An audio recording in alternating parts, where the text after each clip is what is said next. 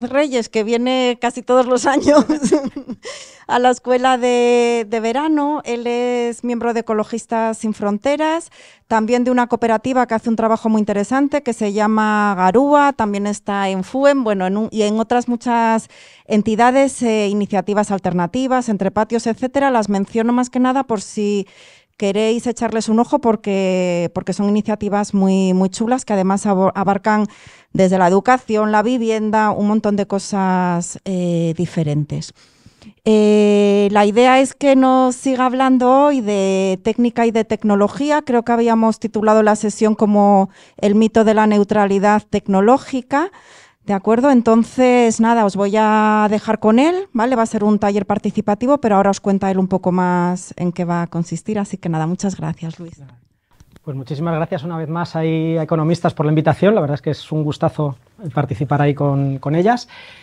Eh, la idea es que vayamos a hacer una cosa pues, más dinámica, participativa, de construcción colectiva, porque nos vamos a meter con un tema que yo sé que es tremendamente polémico, y es hacer una crítica profunda a lo que es la tecnología, con una reflexión, intentando también entrar en algunos elementos un poco profundos de lo que son las técnicas, entendiendo que no es lo mismo técnica que tecnología, pero esto lo iremos viendo. Esto de la neutralidad vamos a entrar en ello, va a ser uno de los elementos en los que vamos a entrar, de hecho es en el que más vamos a entrar, pero le cambia un poquito el título porque vamos a abrir un poquito más el campo, entonces bueno, pues por eso lo de, lo de comentarlo. ¿no? Pero en general, ya digo, vamos a entrar en, esto de la neutralidad. Y la idea es que lo hagamos, como decía, lo más participativo posible. Así que básicamente la dinámica va a ser, yo cuento una cosita, lanzo una pregunta, la hablamos y pasamos a lo siguiente. Y vamos a ir haciéndolo así, pues un poco de forma iterativa. Vamos a tener varios momentos en los que vamos, os voy a decir, pues cuchicháis en parejas, Luego no vamos a poner en común todo lo que han dicho todas las parejas, simplemente, bueno, pues nos sirve para reflexiones y algunas cosas las pondremos y otras no, ¿vale? ¿Bien? Bueno, pues vamos allá, ¿no? Y para empezar, ¿no? Y por, situarnos, ¿no? ¿Qué es esto de la técnica, ¿no? De alguna manera, ¿de qué estamos hablando cuando hablamos de técnica? Y luego veremos de qué hablamos cuando hablamos de, de tecnología. Pues os propongo un par de definiciones con las que vamos a jugar a lo largo de esta mañana. La primera sería una colección de actos, es decir, la técnica tiene que haber una acción, no es una cosa que esté ahí en la nada, ¿no? sino que tiene que haber una acción sobre un objeto y en el que busquemos alcanzar un fin. Y vamos a jugar con esa definición que nos abre mucho el campo y en el que, por supuesto, la fregona es una técnica, ¿no? recogiendo lo que se comentaba anteriormente, porque hay un acto, el acto de moverla sobre un objeto, que es la fregona, con un fin limpiar el suelo. ¿no? por poner el ejemplo este de lo que hablábamos anteriormente. Una segunda definición con la que vamos a jugar es que la técnica es una condensación de materia, de energía y de conocimientos. No hay técnicas que estén desmaterializadas, no hay técnicas que se muevan sin ningún tipo de energía, porque como hay un acto, necesitas una energía detrás que lo, que lo mueva, y no hay técnicas sin de alguna manera un conocimiento, una sociedad que viene por detrás. No flotan en el limbo, ni en el limbo social ni en el limbo ecosistémico, sino que están dentro de los límites sociales y de los límites ecosistémicos. Y sobre esta idea vamos a ir dándole como, como muchas vueltas. Vamos a trabajar sobre tres grandes cuestiones sobre la técnica y la tecnología. Si no nos da tiempo a llegar a las tres, pues tampoco pasa nada, nos vamos a comer y chimpún, ¿no? Y luego, si nos da tiempo, aparte de esas tres cuestiones sobre la técnica y la tecnología, pues voy a plantearos pues, alguna propuesta, ¿no? porque digamos, la primera parte va a ser como una mirada más crítica, si nos diese tiempo entraríamos con una última parte, con una mirada más propositiva. En cualquier caso, la presentación yo la dejo aquí para que os la puedan compartir ¿no? la gente de economistas y que la tengáis disponible. Así que empezamos, ¿no? Y empezamos con esto de la neutralidad, que era como el elemento central, en principio, de este taller, ¿no? ¿Es la técnica neutral? esto que nos han dicho tantas veces, ¿no? De que el cuchillo lo puedo utilizar como quiera. Lo puedo utilizar para prepararme la comida o lo puedo utilizar pues para asesinar a una persona, ¿no? Y desde esa perspectiva diríamos, el cuchillo es neutral, lo puedo utilizar para algo que tiene que ver con el bien social, sea lo que sea esto de bien, que todo el mundo definimos bien de formas distintas, o lo puedo utilizar para hacer el mal social, ¿no? También vamos a poner entre comillas lo del mal, ¿no? ¿Es o no es la técnica neutral? Y más allá de intentar reflexionar sobre esto, mi propuesta es que pongamos algunos ejemplos y digamos, mira, es neutral por no sé qué o, no lo es por no sé cuánto, ¿vale? Os juntáis tal y como estáis en parejas y le damos un ratito a cuchichear y le damos alguna vuelta sobre esta pregunta. ¿Eso no es neutral la técnica? Bueno, ¿tenéis alguna idea ya? Eh, ¿Nos ha servido este ratito de cuchicheo como para organizar ideas? Eh, como decía antes, no vamos a poner en común todo lo que han dicho cada una de las parejas, porque entonces nos llevaríamos con esto, pero sí que vamos a hacer un espacio pues, de intervención, ¿no? Y a quien le apetezca compartir alguna idea, pues, pues bienvenida sea. Sugiero que para que podamos hablar mucha gente, pongamos una, una idea por persona, o sea que a lo mejor tengo tres ideas, pues digo una y así damos espacio para que otras personas puedan decir otras ideas, ¿vale? Entonces, quien quiera,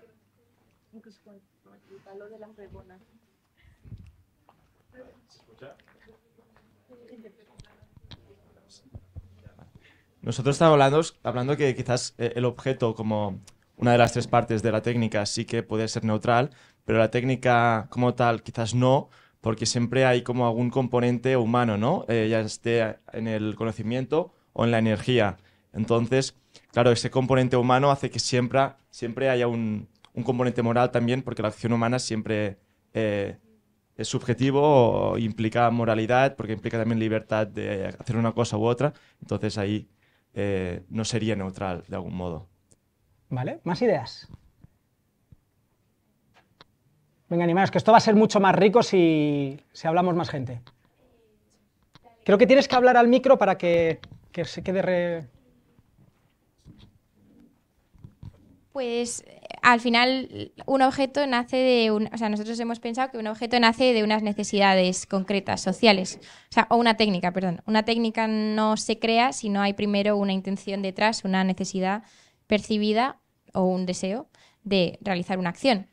Eh, entonces e, es completamente social, creemos. Y luego, pues también hay muchas eh, decisiones que van dentro de la técnica como pues qué materiales eliges, qué, cuál es la fuente de energía que utilizas, eh, cómo se ha creado ese conocimiento, o sea, como que todo está muy metido en, la cultura. ¿Más ideas? Eh, por aquí hemos pensado que la, técnica puede no ser del todo neutral porque a menudo aparecen eh, sesgos de género o de capacidades a la hora del diseño y del manejo de, estas herramientas o utensilios, tanto en el propio diseño del objeto como en la forma en la que se utiliza. Sí, eh, yo estaba comentando que para mí la técnica sería neutral porque es un hacer, pero sí que el por qué se hace eso o el cómo se llega a hacer eso, por ejemplo, una bomba, la técnica de una bomba, o sea, es como, es algo en abstracto, pero el por qué se hace una bomba, las motivaciones que hay detrás y tal, ahí sí que hablaríamos de la no neutralidad. Yo comparto grosso modo lo que, lo que planteáis, ¿eh? y vamos a intentar profundizar un poquito ahí. Discreparía eso de que pueda haber alguna parte neutral en la técnica, pero, pero incluso sobre esto voy a discutirme a mí mismo. La primera idea, y realmente la habéis recogido, ¿eh? o sea, que simplemente profundizo sobre esta, es como una doble idea. Las técnicas no existen pues sin el contexto social en el que se crean, pero además las técnicas modelan también el contexto social en el que se crean. ¿no? Hay una doble influencia que está actuando constantemente. ¿no? Ninguna técnica, ningún objeto y ninguna de las prácticas de su uso puede definirse al margen de una sociedad particular. Esto lo había explicado la compañera perfectamente ¿no? antes en la, en la intervención. ¿no? pues son expresiones materiales de formas de valorar, de interpretar, de organizar el mundo, ¿no? De alguna manera no surgen de la nada, sino surgen porque hay detrás un, objetivo, ¿no? En el que lo planteamos. Y desde ahí diferenciar técnica de tecnología. Esto puede ser una diferenciación que no puede compartirse, pero en el taller vamos a jugar con qué técnica es esa mirada macro que ha ocurrido a lo largo de toda la historia de la humanidad el ser humano siempre ha utilizado técnicas, pero es más, hay animales que también utilizan técnicas, no solamente somos los animales humanos quienes utilizamos técnicas, hay otros animales que también las utilizan, pero la tecnología es una técnica determinada y concreta de un momento histórico determinado y de un momento pues, social, de una organización social determinada. Son las técnicas que se utilizan dentro del capitalismo y que son, en general, fósiles, minerales, pensando en las energías y en los materiales con las que están construidas, que tienen una mirada en gran parte a gran escala, y aquí pues pensamos todo lo que es la industria, ¿no? con un alto grado de complejidad y que tienen detrás pues, todo el desarrollo del método científico como un elemento básico para su puesta en marcha y para su implementación en el tiempo. Esto no quiere decir que no haya otras técnicas que no usen minerales o no haya otras técnicas que puedan utilizar el método científico, sino que todo este paquete metido dentro del capitalismo es a lo que pues, voy a denominar y vamos a trabajar durante esta mañana como tecnología. Y lo decía, ¿no? No solamente las técnicas surgen de un orden social determinado, pues un orden social que priorice pues la caza, pues va a inventar técnicas para cazar. Y un orden social que priorice la recolección va a implementar técnicas pues, para recolectar de una manera más eficiente. Y de alguna manera las técnicas que desarrollamos reflejan pues, un determinado orden.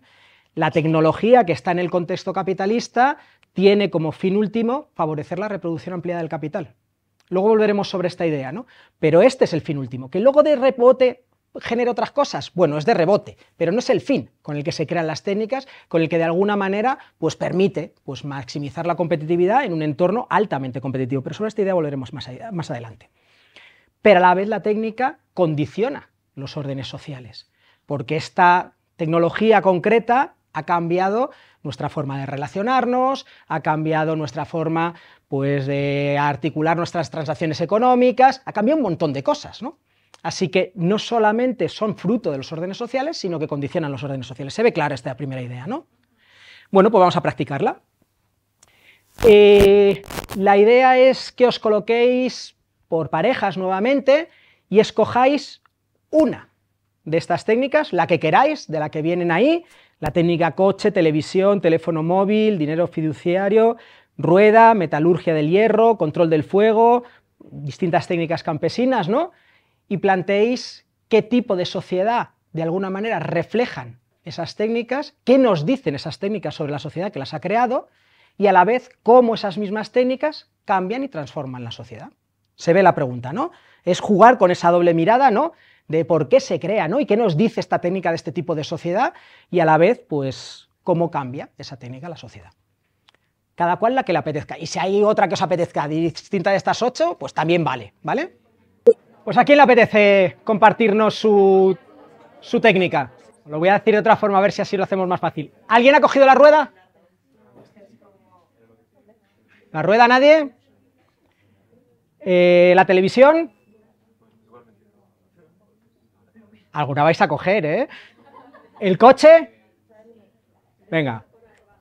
Venga, por ahí, que no han hablado antes, ¿vale? Sí, por repartir y... Del coche hablábamos que genera una, un tipo de sociedad individualista, aunque luego entramos en las dinámicas que se pueden generar, pero bueno, el coche versus transporte público sí que es más individualista, más una sociedad más consumista, y también más inmediatista y más, y, más cómoda, ¿no? Que se busca siempre es como el, el, confort. Y eso es lo que genera. ¿Y qué tipo de sociedad refleja?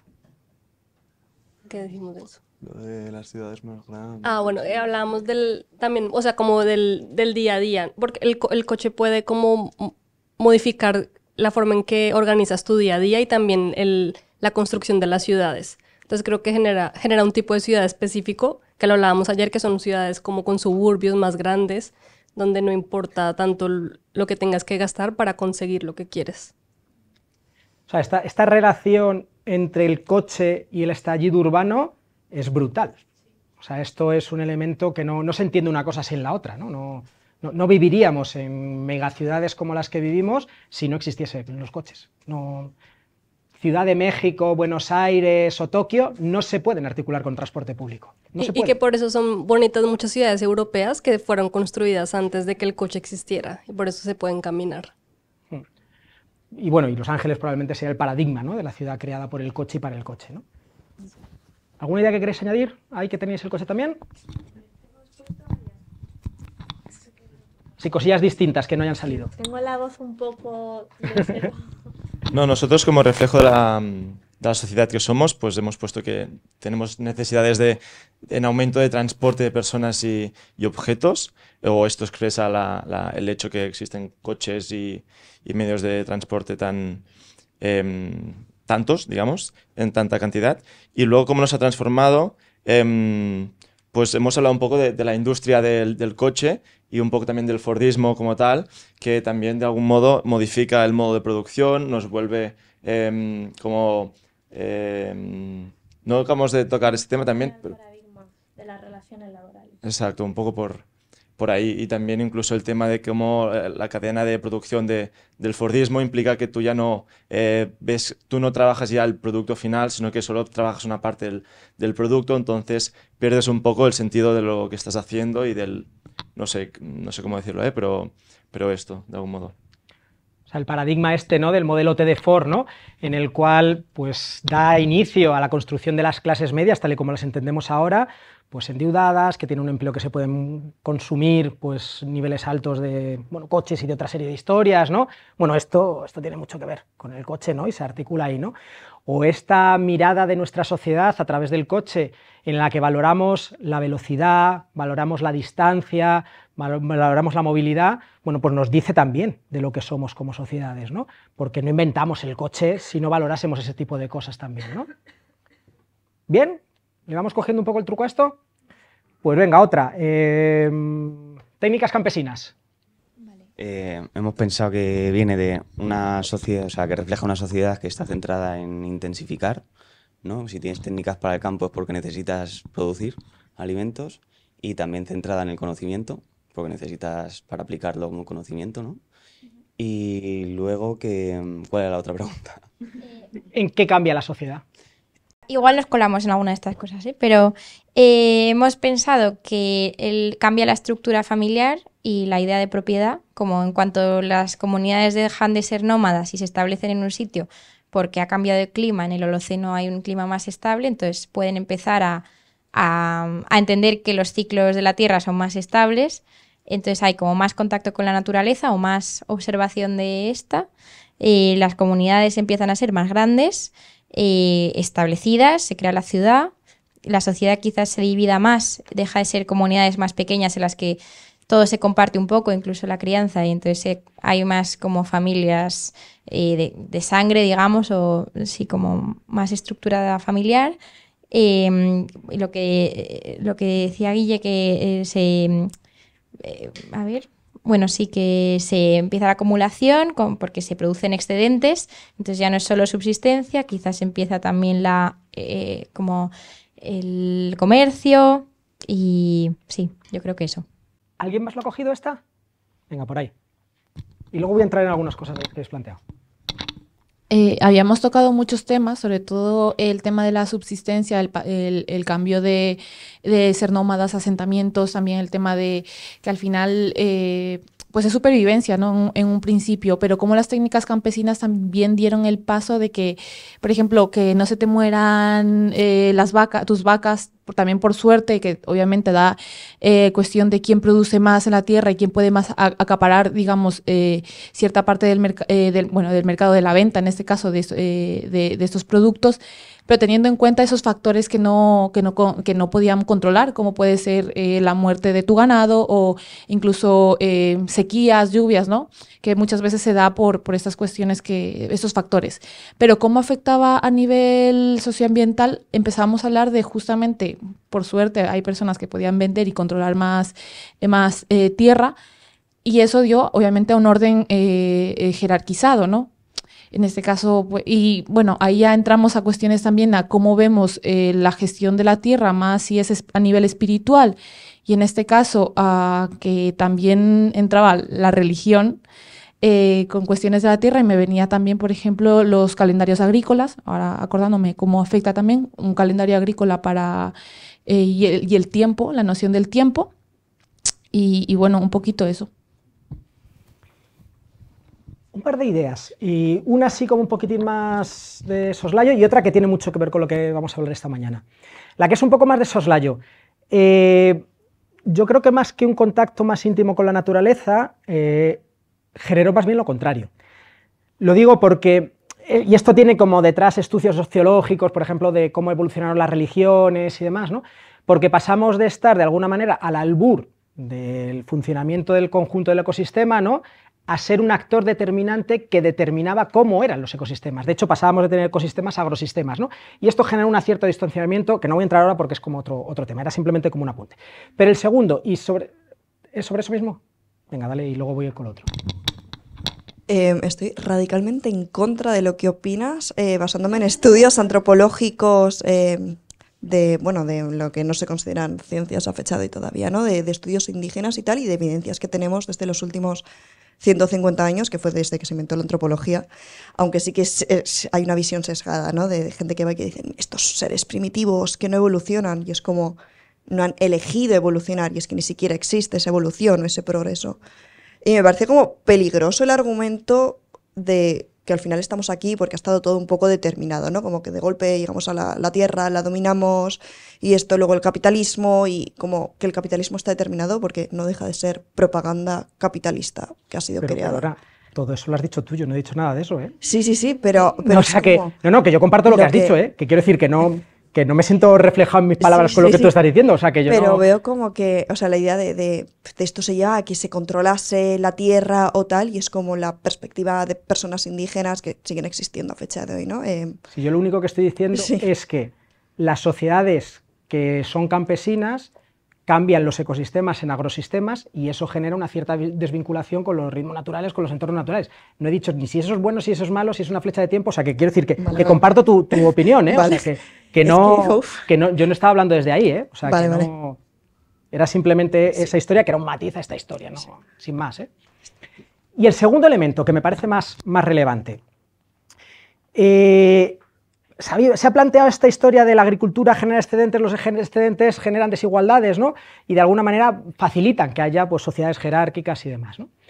Y esto, y volviendo a la mirada más antropológica del asunto, en algunos casos ocurrió y en otros casos no ocurrió. Es decir, y esto sí que es una conclusión importante para lo que tiene que ver con el taller, una cosa es que las técnicas influyan en las sociedades y otra cosa distinta es que las técnicas determinen las sociedades.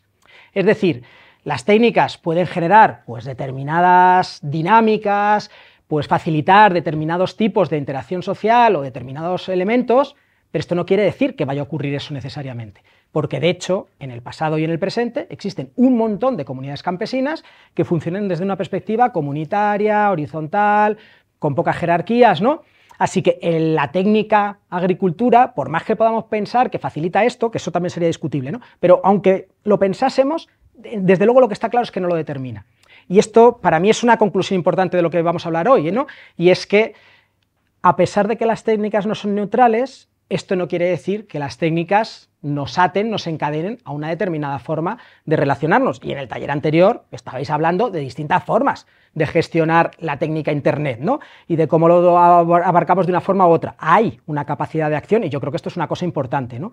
Sin caer en la neutralidad, pues tampoco caer en el absoluto determinismo, porque no estamos tampoco en esta historia. ¿Vale? ¿Bien? ¿Vamos a un último ejemplo? Venga, ¿a quién le apetece? Una distinta que no haya salido. Y con esto cerramos y pasamos a otra cosa. Alguien que le apetezca, venga, ahí al fondo. Se han levantado un pelín ante la mano. Buenas, eh, nosotros hemos hablado de los teléfonos móviles y bueno, eh, consideramos que es reflejo de una sociedad donde todo se hace con prisas, con inmediatez, eh, también con facilidades porque de alguna manera pues un móvil también ha reunido varios aparatos electrónicos en uno, pero por general hemos sacado bastantes cosas más negativas que positivas, ¿no? Porque esa conexión quizá con lugares que están más lejanos y nos aproximan a ellos, también hace que perdamos la conexión de comunidad, ¿no? Ese individualismo al estar delante de nuestras pantallas y no compartir tanto como, por ejemplo, antes mm, nos poníamos en familia de- frente al televisor y ahora toda la gente está con el móvil, incluso cenando, ¿no? Entonces creo que refleja una sociedad que vive con prisas, capitalista, consumista, eh, donde se pretende expandir el mercado y eso, mm, como uniformizar también que todos los smartphones sean del mismo estilo eh, y demás, y genera también ansiedad, ¿no? Como una sociedad que vive con prisas todo el tiempo. No sé si alguno... ¿Alguien más ha cogido el móvil que quiera añadir alguna cosa, matizar? Venga, aquí justo alguien ha cogido la misma. Eh, bueno, habíamos dicho cosas bastante similares, entonces solo voy a añadir como algo. Y nosotros habíamos, pues, como mm, visto bastantes contradicciones, ¿no? Porque por una banda se habla de, de estar conectados, pero después aparece un individualismo em, pues muy aparente y también se habla o se, se ve se aprecia como una aparente libertad, pero también creo que nos ha llevado a una época de una sociedad muy maleable y muy subordinada también a los intereses de- del capital, por ejemplo. Entonces vemos como falacias o contradicciones muy interesantes. Esta primera parte yo creo que ha quedado clara, ¿no? Independientemente de que podamos discrepar de los análisis concretos de cada una de las cosas, la idea yo creo que más o menos la tenemos, ¿no? Bueno, pues voy a darle una vueltita más a esto de la neutralidad tecnológica, ¿no?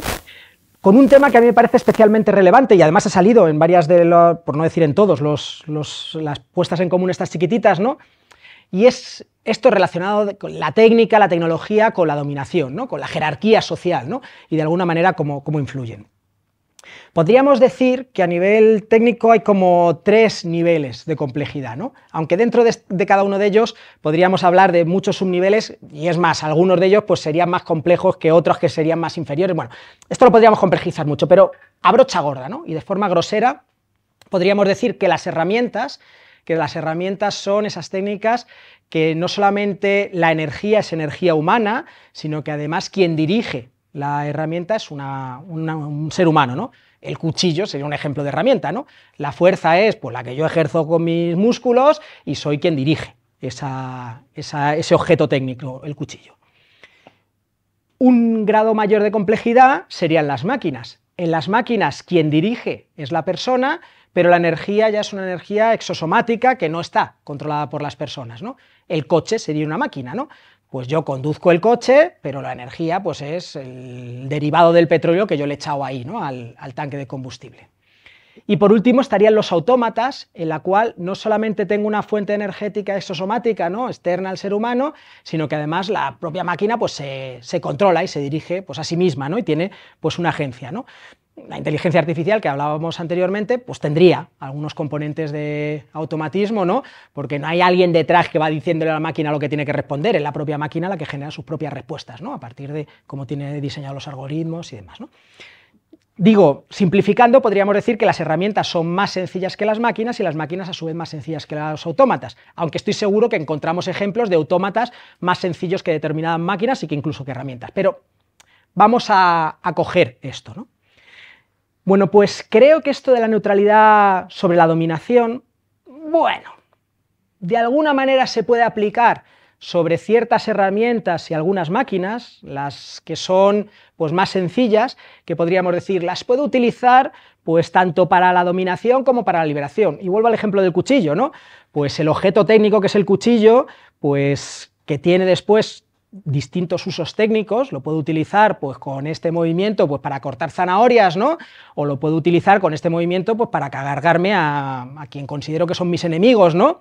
Bueno, que son distintos usos técnicos los que voy a tener con ello, bueno, podría estar un poquito empapado el objeto técnico de esta idea de la neutralidad tecnológica, por más que creo que neutral, neutral no hay nunca nada, ¿no? Pero bueno, podría encajar. Pero creo que las que son complejas, de por sí, intrínsecamente, tienen embebida, independientemente del tipo de uso que yo haga de ellas, tienen embebida un elemento de control, de dominación social y marcan unas jerarquías. Repito, independientemente de cómo las use y de cómo las quiera utilizar. ¿no? ¿Y por qué? En primer lugar, pues porque en general son insostenibles, tienen que ver con esos usos basados en combustibles fósiles, basados en minerales pues escasos, ¿no? Y esto ya de por sí es una jerarquía, es una jerarquía de especies, porque hay una especie que es la que de alguna manera regula pues, el funcionamiento del planeta y hay una jerarquía claramente generacional, ¿no? Pues porque hay una generación que se está dilapidando los recursos a costa pues, de los que vengan por delante, de, detrás de ella, ¿no? O sea que aquí hay unas jerarquías, lo queramos o no lo queramos. Y la inteligencia artificial, por volver al ejemplo anterior, simplemente por el hecho de cuáles, tiene, cuáles son las fuentes energéticas y materiales que tiene detrás, es jerárquica. Y no hay un uso bueno. Hay unos usos malos y unos usos peores, pero no hay un uso igualitario de la inteligencia artificial, no, no, lo puede haber. Otra cosa es que veamos pues, cómo gestionamos esto dentro de las dificultades que tenemos socialmente de gestionar las cosas, ¿no? pero, pero por lo menos tener un poco esa, esa idea. La segunda es que en general no son, no son universalizables. No todo el mundo puede acceder a cosas que por el mero hecho de ser insostenible, pues ya tienen pues unas capacidades diferenciales por una parte de la población u otra. Como no tenemos recursos infinitos, pues habrá personas que accederán a ese determinado tipo de tecnologías y habrá otras que no accederán a esas tecnologías. Y esto, esto marca también una jerarquía. Yo puedo, decir, no, pero si es que tú no la querías para nada, no te sirve para nada. Bueno, sí, déjame decirlo a mí, ¿no? Si no la quería para nada o no me servía para nada, ¿no? Porque de hecho tú me has excluido de esta parte y esto ya es un elemento jerárquico intrínseco, ¿no? El tercer elemento es que en la medida que están producidas pues con unos recursos muy concretos y que se extraen de unas maneras muy concretas, no en una abstracción, sino en la realidad, que vemos pues territorios que son pues territorios de, en exclusión, ¿no? Y que son al final zonas de sacrificio en las cuales hay un ejercicio de colonialidad pues en cómo se extraen, de dónde se extraen, y bueno, pues si entendemos cómo es la actividad minera, pues entendemos que hay ahí también un ejercicio pues claramente, ya digo, de jerarquía. Otra idea más es que nuestra sociedad, la sociedad en la que vivimos, ¿no? la gente que estamos aquí hoy en esta, en, esta reunión, pues incluso con actos nimios de nuestro día a día, estamos ejerciendo esas relaciones de poder. Estamos ahora mismo aquí pues utilizando un ordenador personal ¿no? que tiene pues detrás pues un montón de materias primas pues recogidas, ¿no? O tenemos el aire acondicionado puesto, ¿no? Y el aire acondicionado puesto no, no, es una cosa inocua desde el punto de vista ambiental, ¿no? sino que tiene repercusiones pues, al final en aumentar un calentamiento global que no sufrimos fundamentalmente quienes estamos en esta sala, sino personas que están en otros lugares o seres vivos que están en otros lugares del planeta. ¿no? Así que incluso en nuestras acciones más cotidianas y en cosas que el Iván Illich plantearía como pues, monopolios radicales, ¿no? en cosas en las que no nos podemos escapar muy bien, pues porque sería salirnos de la sociedad y salirse de la sociedad es algo probablemente imposible de, realizar, ¿no? Bueno, pues acabamos generando pues, esas relaciones ¿no? de control, ¿no? Implican determinadas tecnologías necesariamente pues, esas, esas jerarquías. ¿no? Y luego, por último, porque muchas de esas tecnologías pues, generan una mayor capacidad de coacción, ¿no? Pues en algunos casos de manera fuerte, antes hablaba no sé quién, en el ejemplo de la bomba, ¿no? Pues la bomba es una capacidad de coacción pues grande, ¿no? Tiene una capacidad de destrucción grande y a partir de ahí, pues a través de mi imposición bélica, pues coloco mis deseos por encima de los deseos de otras personas. Pero también formas de coacción pues mucho más suaves, ¿no? Antes se hablaba de todo el tema pues de extracción de datos, datos que en gran parte acaban siendo pues destinados a la vía pues publicitaria, mira tú qué casualidad que nos salen justo los anuncios de las cosas que más nos apetece comprar, ¿no? Mira tú por dónde, ¿no? Y que están cada vez más ajustadas a nuestras necesidades y esto es una vía de coacción, ¿no? Claramente y de control social y que están ahí también metidos dentro de, todo este elemento, ¿no? Así que, bueno, por hilar un poco más fino esa parte de lo, de lo que tenía que ver con las, ya digo, con la neutralidad tecnológica y demás. ¿Se ve esto? ¿Sí? Bueno, pues os quería poner un par de casos de ejemplo, ¿no? Sobre este tema de la neutralidad y ya cerramos la neutralidad y nos pasamos a otra, a otra película, ¿no? El primero sería el de las, de las renovables, ¿no? Pues estas fuentes energéticas que en realidad son técnicas, lo que tiene detrás, ¿no? Porque no es que hablemos del sol, sino que hablamos de unas técnicas concretas para aprovechar el sol para utilizarlo para unas determinadas cosas, ¿no? Y que vienen a ser como las llamadas a, bueno, cambio los combustibles fósiles por las fuentes, las técnicas renovables y esto me permite mantener mi orden social. Bueno, decíamos antes que el uso de unas técnicas condiciona pues, los órdenes sociales y lo voy a ejemplificar ¿no? pues, con lo que podrían ser las renovables y pensando en esta idea de que la técnica es materia, energía y conocimientos condensados, así que si cambio pues la energía que estoy utilizando, voy a cambiar el conjunto de la técnica y por lo tanto voy a cambiar también por las posibilidades sociales y las influencias sociales. ¿Qué le pasa a los fósiles?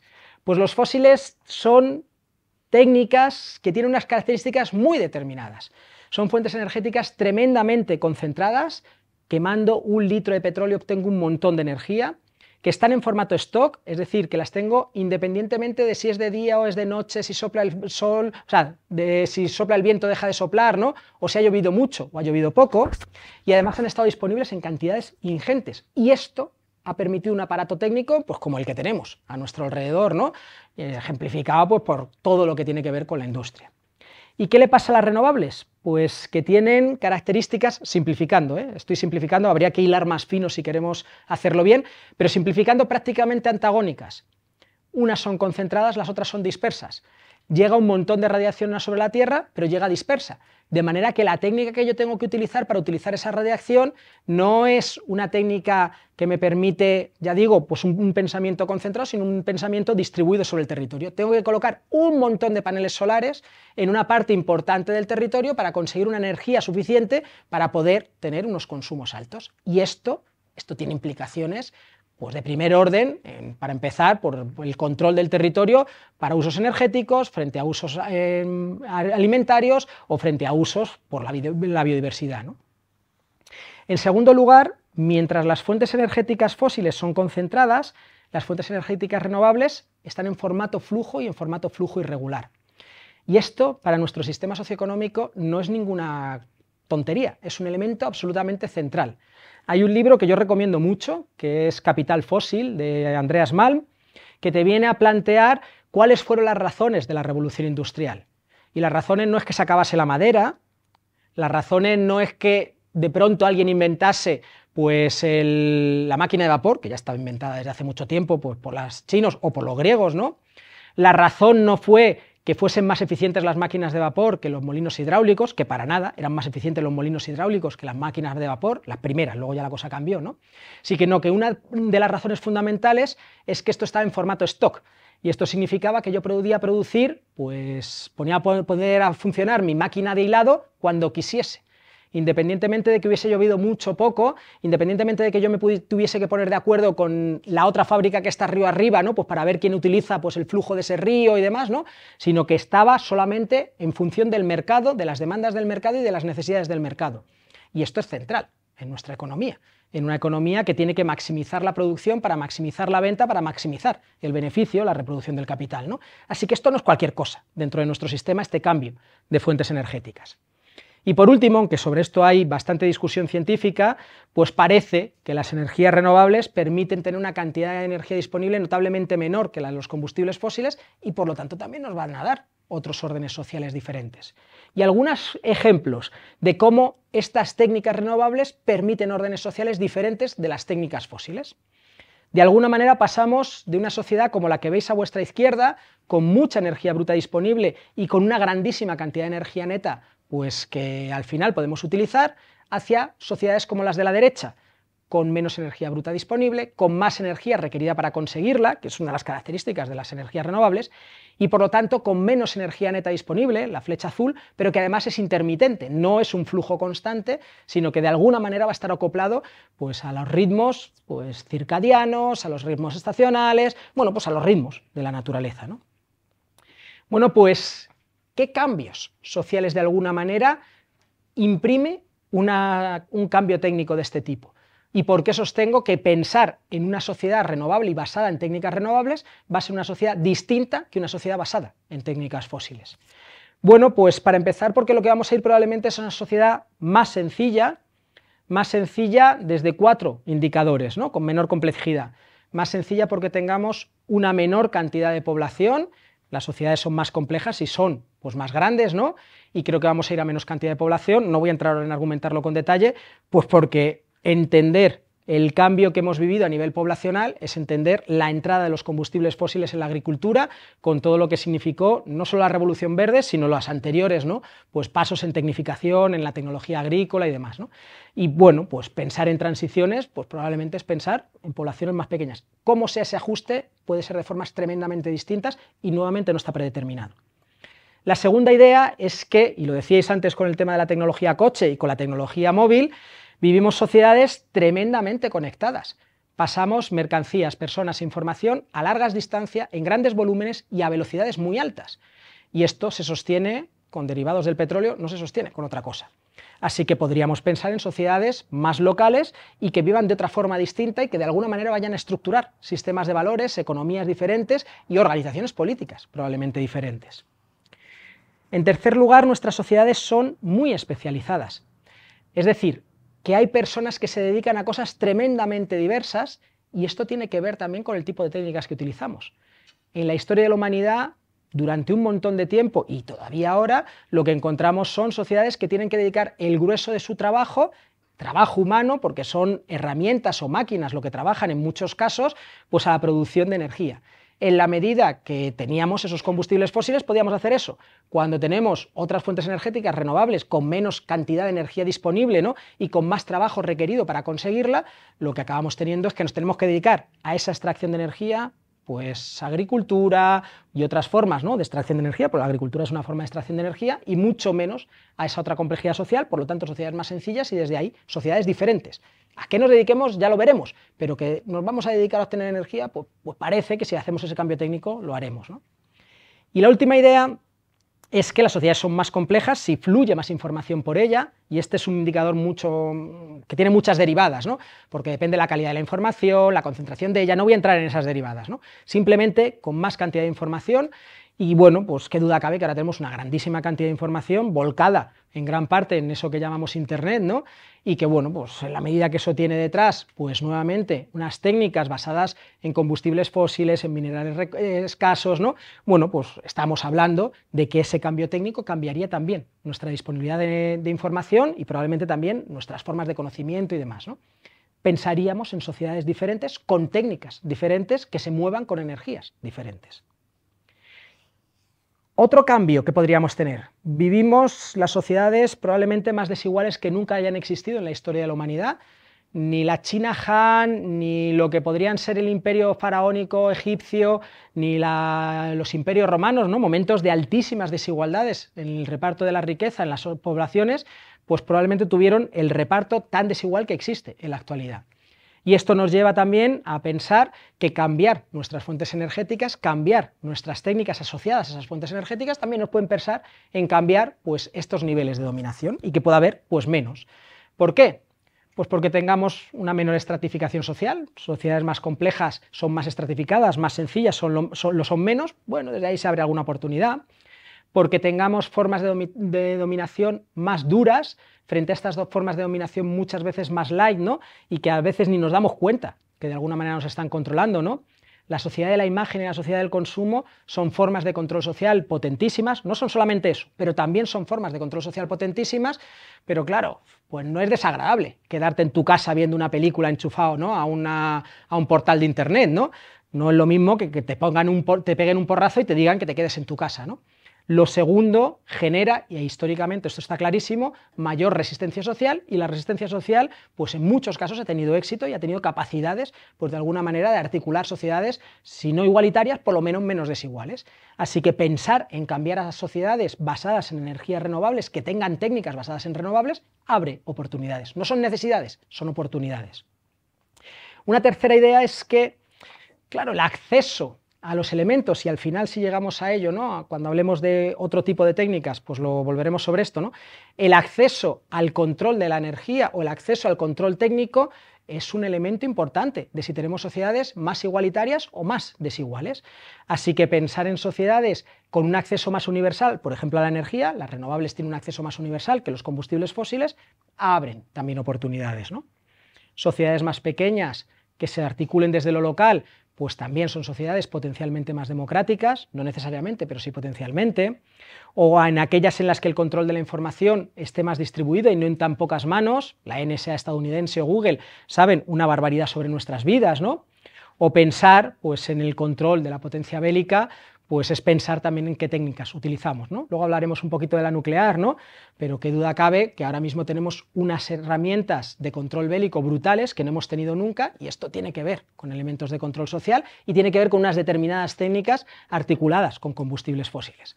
Si ahora mismo el ejército israelí está masacrando al gazarí, es entre otras cosas por las técnicas bélicas que tiene detrás, si no esto no estaría sucediendo como está sucediendo ni muchísimo menos. ¿no? ¿Alguna otra idea? Y es, y vuelvo al ejemplo del coche, pensar en vivir aglomerados en grandes urbanizaciones es pensar en utilizar técnicas de transporte masivo como el coche, el camión, el avión o el barco carguero, ¿no? Y que tienen todas detrás combustibles fósiles que se mueven, ¿no? Así que bueno, pues esto también nos imprime otras formas de habitar, ¿no? O pensar en también en cambiar esta parte de los estados, pero me lo voy a saltar por ir un poquito más allá.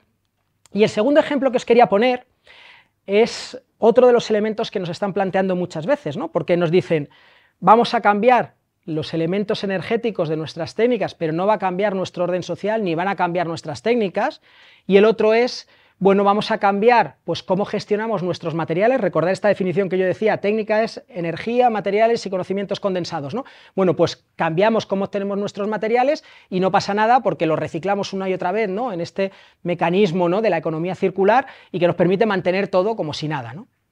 Bueno, la economía circular existe en el planeta Tierra es la que ocurre en los ecosistemas que tienen una capacidad de reciclar el nitrógeno, el fósforo o el potasio del orden del 99,5-99,8%. Eso se acerca una barbaridad a la circularidad, todo lo que se pueda acercar termodinámicamente, ¿no? porque obviamente el 100% es imposible. Pero nuestra economía, la economía capitalista, no puede ser circular. De manera que pensar en técnicas articuladas a través de economías circulares es pensar en técnicas totalmente distintas porque hablan de órdenes totalmente distintos, órdenes sociales totalmente distintos. ¿Y por qué digo que el capitalismo nunca jamás va a poder ser circular y por lo tanto la tecnología nunca va a poder ser circular? Sí. Lo explico y luego igual resuelvo tu pregunta. Y si no, entramos, ¿vale? Bueno, porque lo que veis ahí es el flujo de materiales que tiene nuestra economía global, una economía globalizada hay que mirarlo a nivel global, esto es lo que extraemos y esto es de alguna manera los residuos que generamos. Aproximadamente el 8% es lo que está circularizado, el 92% no lo está y voy a argumentar que no lo está ni lo puede estar. Podemos subir un poco el 8% este, pero no vamos a subirlo muchísimo, ¿no? No vamos a llegar al 99,5 ni el 99,8. Y no lo puede estar porque en las cosas que salen hay como tres grandes bloques. Uno, lo que emitimos. Claro, yo quemo gasolina, emito CO2 a la atmósfera y esto no lo voy a hacer circular nunca en la vida. Bueno, sí, podrá llegar a ser circular dentro de millones de años con el concurso de los ecosistemas y que eso se vuelva a convertir en petróleo para que luego vuelva a, fabricar gasolina. Pero esto no es lo que hace que funcione nuestro sistema. Nuestro sistema necesita que esto vuelva a ser gasolina al año siguiente, como muy tarde, ¿no? Así que esto ni es circular ni puede llegar a serlo en nuestro sistema. El segundo elemento es lo que se, lo que se distribuye, lo que se dispersa, porque una parte muy importante de nuestros materiales se dispersan y no tenemos la técnica capaz de utilizarlo. El fósforo que echamos a los campos, que es una técnica de la revolución verde y que tiene que ver con nuestras técnicas agrícolas, hay una parte que lo adquieren las plantas y otra parte que queda disperso en el territorio, en los acuíferos, en el suelo, y esto no lo podemos recoger. Está diluido y no somos capaces de recogerlo. Hay quien tiene esa capacidad en el planeta Tierra, que son las plantas y las bacterias, que tienen esa técnica molecular, pero los seres humanos no tenemos esa técnica molecular, está muy lejos, está en órdenes de magnitud mucho mayores, así que esto que se dispersa tampoco nunca lo vamos a poder hacer. El tercer elemento es lo que se añade al stock, porque es que una parte importantísima de lo que producimos, de nuestros objetos técnicos, pues de alguna manera se van acumulando y acumulando y acumulando, por ejemplo, en formato de carreteras, en formato de casas, en formato de aeropuertos y un largo etcétera. Se van acumulando y no pueden dejar de acumularse, porque uno de los nichos fundamentales de reproducción del capital es el sector inmobiliario. Y esto pasa en España, pasa en Alemania, pasa en China, pasa en Estados Unidos, no es una casualidad, es un elemento consustancial de cómo funciona nuestro sistema y es un elemento importante de la articulación, pues ya digo, de esa reproducción del capital. Así que esto tampoco va a ser circular nunca. Así que lo que llamamos basura, que en el mejor de los casos podríamos hacer circular, aunque en realidad no voy a entrar ahora tampoco del, todo, pues bueno, no nos quedaría más que aproximadamente un cuarto ¿no? de todos nuestros desechos ¿no? circularizados, el resto ni lo están ni lo pueden estar. Así que pensar en esto de la economía circular, ¿no? como esta técnica que nos plantea, ¿no? el poder utilizar una y otra vez los materiales, es pensar en otro orden social totalmente distinto y por lo tanto también en otro orden técnico totalmente diferente. ¿no? Y ahora, no sé si he resuelto tu duda o vamos a ella. Eh, o tu duda o tu réplica, ¿eh? que guay también las réplicas. O sea, que no me he enterado de otra de las que has dicho que no se puede mm, eh, circularizar. O sea, has dicho que los, la energía fósil eh, los materiales que se dispersan y la siguiente, ¿cuál era? Lo que se añade en formato de stock. O sea, las carreteras, los edificios, lo que, o sea, digamos, lo que se, el residuo que va produciendo nuestra, nuestra sociedad es una parte lo que dispersamos a la atmósfera, CO2, otra parte lo que dispersamos, ¿no? Perdón, lo que emitimos como a la atmósfera, lo que dispersamos como el fósforo, lo que convertimos en un stock que se va añadiendo ¿no? y que se va acumulando, que ya digo, sobre todo es sector inmobiliario, pero no solo, ¿eh? pensemos también en cosas que fabricamos que duran un montón de tiempo y que se van acumulando ahí, ¿no? plásticos, toda una serie de elementos, ¿no? Los, basureros son grandes stock, ¿no? Ah, de elementos que están ahí como acumulados también. Y lo último tendría que ver con lo que denominamos basura, ¿no? Y que bueno, pues que ahí podríamos... Ah, vale, vale. Gracias. ¿Sí? ¿Ahora mejor? Sí. Vale. ¿Seguimos? Vale, pues cerramos esta parte de lo de la neutralidad tecnológica. ¿Vale? Hemos visto esta mutua realimentación entre sociedad y tecnología, y sociedad y técnica, la técnica es un fruto de la sociedad y a su vez condiciona a la sociedad y hemos profundizado, ¿no? Pues que no hay neutralidad, pero en algunos casos pues hay una mayor influencia y otras menor, ¿no? Pues en función de la complejidad de la tecnología y hemos estado trabajando sobre esto. Bien, ¿no? Esto más o menos no tiene por qué compartirse, ¿eh? pero esta era un poco como la idea del, inicio, ¿no? Y entendiendo que hay un condicionamiento, pero que no hay una obligación, o sea, que hay también una agencia humana, ¿no? Y una agencia colectiva, pues que hace que hay ya cosas que las podamos dirigir de un lado hacia, o hacia otro. Vamos con un segundo elemento, y dejamos ya digo lo de la neutralidad. ¿no? Y la pregunta que os lanzo es, ¿es la tecnología imparable? ¿Puede con todo? O volviendo con un debate que ha quedado ahí un poco como ahí latente, ¿no? al final de la mesa anterior, ¿no? ¿Es inevitable que se vaya a desarrollar la inteligencia artificial y que sigamos teniendo un desarrollo tecnológico imparable ¿no? en el funcionamiento? ¿no? ¿Va a resolver la tecnología pues, todos los desafíos y las trabas que se le pongan por delante? Parejas, diálogo y, vamos a hablar después. Venga, ¿quién lanza alguna idea sobre esto? Bueno, estábamos reflexionando un poco sobre si la tecnología es imparable o no. No hemos llegado a poner ejemplos y demás. Pero, no sé, creemos que por una parte eh, sí es imparable y me gustaría haber dado con la solución de que, vale, vamos a parar la tecnología y ya está, porque, porque sí, pero para nosotras como quizás lo más, o sea, como un debate más esencial antes de saber si la tecnología es imparable o no, es eh, desde nuestra parcela de libertad, ¿no? O sea, cómo podemos dejar de acumular capital en forma de coches, casas, etcétera, y cada vez ir como más a la desposesión y a volver, por ejemplo, a saberes ancestrales y quizás a técnicas más sencillas que aunque requieran más tiempo y ese tiempo ahora mismo lo estemos utilizando a, no sé, trabajos de jornadas, eh, eso, jornadas laborales infinitas, pues a poder volver a esas técnicas más sencillas que requieren más tiempo, pero poder tener ese tiempo para como poder, como, como, como economías como más locales, eh, pues, pues llegar a más, ¿no? Bueno, a más, no, o sea, mejor en, en colectivo, ¿no?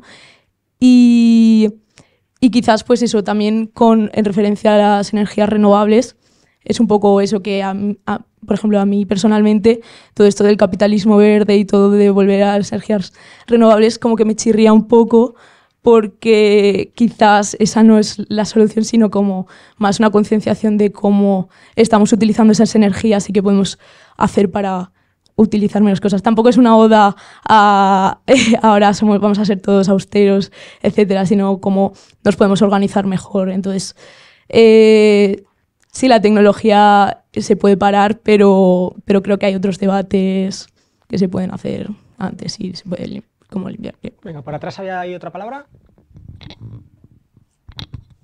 Bueno, nosotros consideramos que la tecnología es imparable, que desde la rueda hasta la imprenta, hasta cualquier tipo de, sistema, cualquier tipo de tecnología, porque hasta la rueda es, una tecnología, o lo fue en su momento, es algo que va evolucionando, que, es imparable, que eh, hasta los mismos aviones eh, consumen menos y contaminan menos y a día de hoy la inteligencia artificial es, de hecho, lo, que se lleva normalmente. Eh, pero no conseguimos que pueda con todo. O sea, dentro del cabe sí, porque eh, todo va evolucionando, todo va mejorando, pero eh, depende mucho de la intención, del factor humano.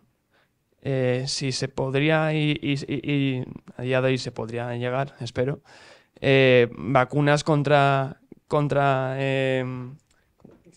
sí, contra el SIDA, por ejemplo, si, se pudiese, eh, se haría. Pero depende todo de la intención, del factor humano.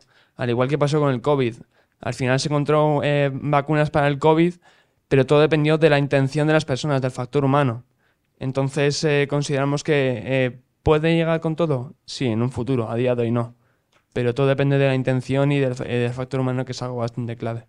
Bueno, nosotros hemos puesto el ejemplo de como unos, eh, bueno, una solución de geoingeniería como de captar el CO2 de la atmósfera, ¿no? Que, básicamente es lo que hacen los árboles, pero bueno, que ha habido muchos estudios científicos de, de pues, plantas que absorben mucho CO2 y que lo convierten en algo, bueno, eh, o en energía o en oxígeno o en lo que sea, y que a pequeña escala pueden funcionar, pero de nuevo, pues un árbol hace la misma función, ¿no? Entonces tarda menos y, o es menos esfuerzos y mm, plantas árboles, o si no, talas bosques, eh, pero eh, estas soluciones a gran escala, a escala planetaria, dejan de tener sentido porque primero necesitas mucho espacio, con lo cual quitas espacio a, la agricultura, bueno, a, la producción de, alimentación, y, y, por otro lado necesitas un montón de material para crear esos objetos o esos edificios en este caso.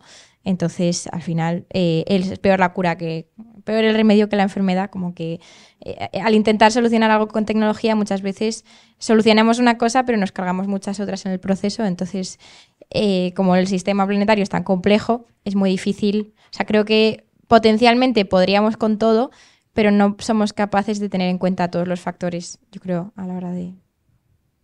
Por ahí, que no habías hablado de más. Justo en la misma línea de si puede con todo o no, Comentábamos que en todas las innovaciones tecnológicas que hemos puesto antes de ejemplo, desde el fuego, la rueda, o sea, todas, al final es una manera como de, burlar los sistemas naturales y, nunca, o sea, no, no creo que sean buenos o malos, sino que es una manera de, que tiene el ser humano de, burlar estos sistemas y nunca llega a ser la, al nivel de perfección del sistema natural. Por lo tanto, es muy difícil que pueda solventar eh, todas las problemáticas o tener en cuenta todos los factores para, llegar a, burlarlo del todo, por así decir. Y luego, en, eh, todo, toda la tecnología, como has dicho antes, está inmersa en un sistema capitalista en el que eh, los poderes están en un lugar, entonces se financian y el dinero eh, está en un lugar que financia determinadas cosas que no son generalmente las que nos llevan en una evolución o en un nivel de desarrollo óptimo. Entonces ya no depende tanto de las personas, sino que creo que en el nivel de avance de capitalismo de corte neoliberal es muy complicado eh, que eh, soluciones que van en favor de, una sociedad más igualitaria, con menos desigualdad, eh, con, más sostenible, no son los proyectos más rentables generalmente. Entonces es muy difícil que aunque hablemos de esto llegue a otro lugar. Bien, ¿lo podemos dejar así o alguien quiere decir alguna cosa más? ¿Sí? Bueno, cuatro, bueno, cinco cositas. Eh, tu última intervención la vamos a retomar luego, o sea que ahora la dejo, no, voy a entrar sobre ella, pero vamos a volver sobre ello. La segunda, em, esto no lo había dicho al principio, lo tenía que haber dicho al principio, yo no os quiero convencer de nada, ¿eh? o sea, yo vengo a defender aquí unas tesis, pero, pero, esto es un espacio de aprendizaje, y en el espacio de aprendizaje es mucho más interesante cuanto más diversidad de opiniones tengamos, ¿no? porque yo creo que la, la tecnología no puede con todo, y además creo que tiene límites claros. ¿no? Lo cual, repito, no quiero decir que os quiera convencer de ello, ¿eh? pero, pero, sí que quería compartir por lo menos algunas, algunas reflexiones al respecto. La primera, eh, no, no, os he dicho así explícitamente, pero aprovecho y tiro el gancho un poco con esta historia. ¿no? Efectivamente, la eficiencia ha ido aumentando de forma sostenida pues, en un montón de ramas, pero en esas mismas ramas en las que ha aumentado la eficiencia, ha aumentado también los niveles de consumo. Y esto es lo que se denomina como el efecto rebote, la paradoja de Gibbons, ¿no?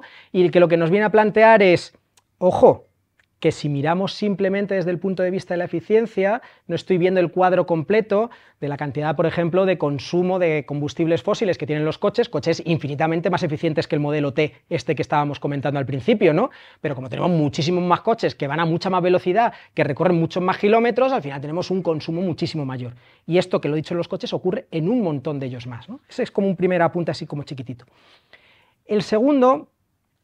Em, es que en la técnica, y esto se aplica mucho también a la tecnología, el factor tiempo cuenta mucho. Y lo cojo con el tema de los árboles. ¿Y a qué me refiero con el, con el factor tiempo?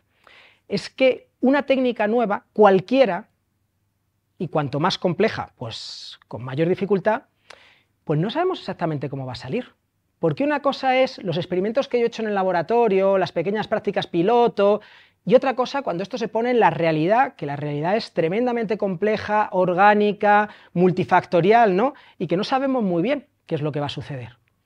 Y por eso digo que el factor tiempo cuenta mucho, porque cuando una técnica lleva sobre la faz de la Tierra cientos o miles de años, la posibilidad de que todos los elementos de posibles fallos que hayan ido sucediendo hayan pasado es muchísimo más alta que cuando la técnica lleva dos años sobre el planeta. ¿no?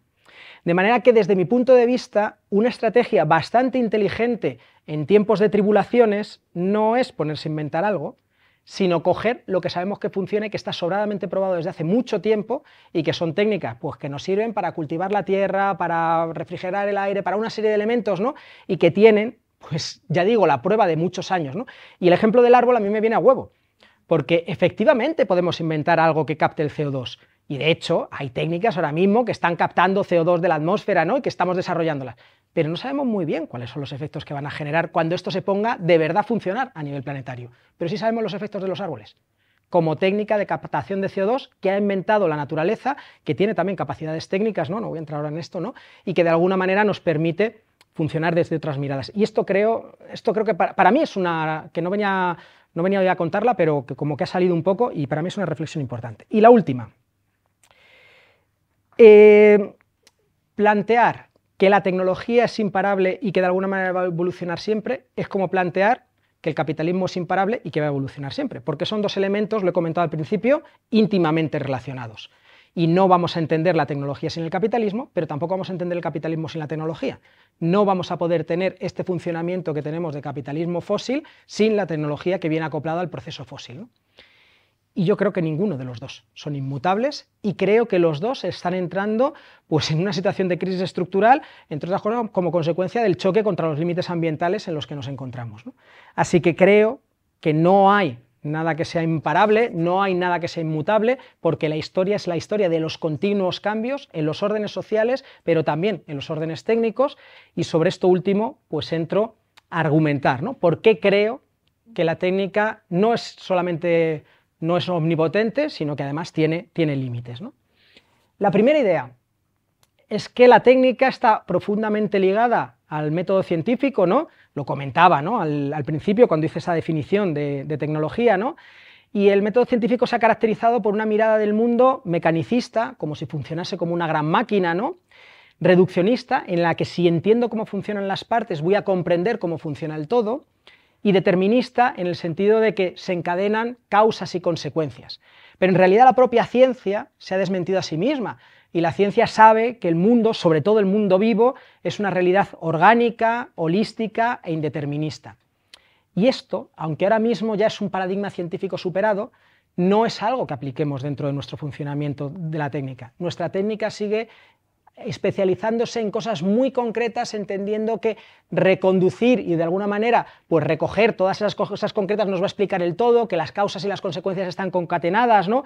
o que el mundo funciona como una gran máquina, ¿no? y esto, esto ya no es así. Y esto para mí es un límite de nuestro sistema tecnocientífico, porque justo los desafíos además que tenemos ahora tienen que ver con entender lo macro, lo complejo, lo sistémico, lo vivo, ¿no? lo vivo como el conjunto de los seres vivos, y esto plantea otro tipo de técnica totalmente distinta del que estamos usando.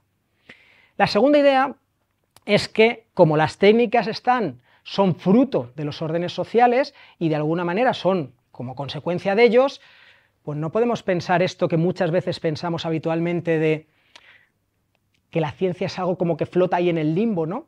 Y que, bueno, pues que, las que están, quienes están ahí investigando, independientemente del tema de quiénes lo financian y para qué los financian, ¿no? que ahora entraremos en esta historia, ¿no?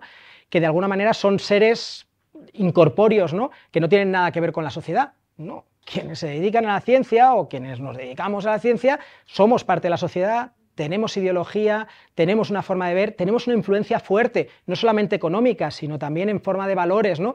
de lo que son nuestros órdenes sociales, y no podemos pensar que la ciencia va al margen de nuestra sociedad y si nuestra sociedad es individualista, la ciencia va a ser individualista o si nuestra sociedad es competitiva, la ciencia va a ser competitiva y desde esa perspectiva tiene límites porque de alguna manera hay puntos ciegos que no son capaces de, mirarse porque justo son los puntos ciegos que tenemos a nivel social y esto, esto justo en los desafíos que tenemos por ahora creo que marca límites claros. Bueno, esto sería como una ejemplificación de esto. La tercera idea es que contra lo que pensamos y nuestra intuición nos plantea, pues no estamos descubriendo cada vez más cosas, sino que lo que estamos haciendo son cambios sobre cosas que ya habíamos descubierto anteriormente. De alguna manera, lo fácil de descubrir lo hemos descubierto ya y lo que tenemos por delante cada vez es más complicado. Por ponerlo con un ejemplo que vamos a entender. Los últimos inventos relevantes, los últimos descubrimientos relevantes en física tienen un siglo. Son de principios del siglo XX. Y durante este siglo se ha investigado una barbaridad, con muchísima más inversión de tiempo, mucha más inversión de, personas, con técnicas muchísimo más complejas. El acelerador, el CERN, ¿no? Ahí en el subsuelo de Suiza, ¿no? Que acelera partículas y demás, ¿no? No ha habido nada comparable con la teoría de la relatividad, con la física cuántica, no ha habido revoluciones de este tipo. Y repito, no es porque no haya habido inversión, es porque lo que tenemos por delante cada vez es más difícil. Pues sí, está el bosón de Higgs, ¿no? Y alguna otra cosa, pero, pero nada comparable con esto, ¿no? Y esto, esto, más allá de una idea, tiene datos detrás. Lo que veis ahí es como para patentar algo cada vez hacen falta equipos más grandes y las personas a lo largo de su vida que se dedican a la investigación ¿no? y luego a patentar esto, pues cada vez pueden generar menos patentes conforme va pasando el tiempo. ¿no? Y esto claramente lo que nos está diciendo es que cada vez es más difícil descubrir las cosas. Y esto lo que nos habla es de límites en la capacidad inventiva. No es que no vayamos a quedar a cero, sino que cada vez vamos a ir probablemente a un ritmo menor. Pero esto no solamente es como una idea, sino que tiene estudios científicos que vienen a plantear justo eso, que la tasa máxima de innovación, pues es posible que la hayamos pasado ya, ¿no? Y que además no fue ni siquiera en el siglo XX, sino a finales del siglo XIX, ¿no? Y desde entonces descubrimos cosas, pero cada vez con más dificultad, más lentamente, ¿no? Y esto, cosas realmente nuevas, ¿eh? no variaciones sobre lo que, lo que habíamos descubierto ya y demás. La cuarta idea tiene que ver con nuestra propia concepción como seres humanos, ¿no? porque la técnica, cuando decía un poco esa parte de la definición, ¿no? en la que tiene que ver con un acto, que tiene que ver con una intención, en la que tiene que tener un conocimiento condensado, la técnica no está emancipada de los seres humanos. La técnica pues potencia nuestras capacidades, nos permite hacer cosas que no podríamos hacer solamente con nuestro cuerpo, que duda cabe, ¿no? Y que las potencia además muchísimo, pero no las potencia infinitamente. Y si los seres humanos somos limitados, y que duda cabe que somos limitados en nuestra capacidad de conocimiento, en nuestra capacidad de acción, la técnica también va a ser limitada porque si no somos ni omniscientes ni omnipotentes, no vamos a poder generar algo que depende de, lo que hagamos nosotras y nosotros, que sea omnisciente y omnipotente. Y creo que este es un aprendizaje potente, ¿no? Y que necesitamos las sociedades humanas.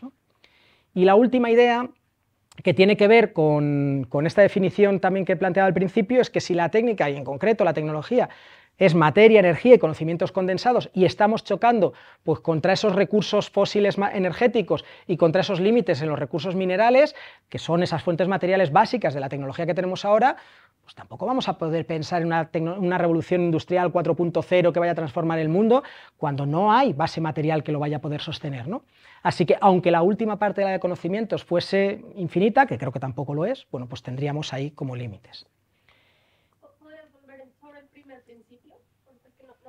El del mecanicismo y demás. Bueno, de alguna manera todo el sistema, lo voy a poner con un ejemplo, yo mi tesis la hice sobre una proteína de un virus humano, ¿no? un virus respiratorio, y yo me convertí en un especialista de una cosa concreta de esa proteína.